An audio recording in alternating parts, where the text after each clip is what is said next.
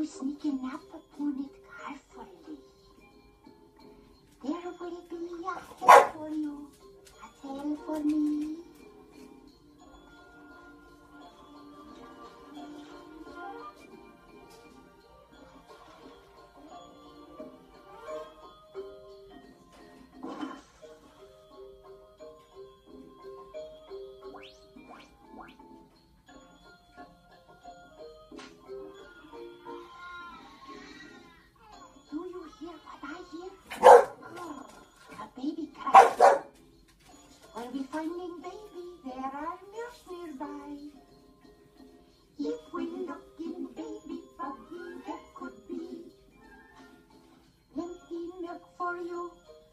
Also some for me.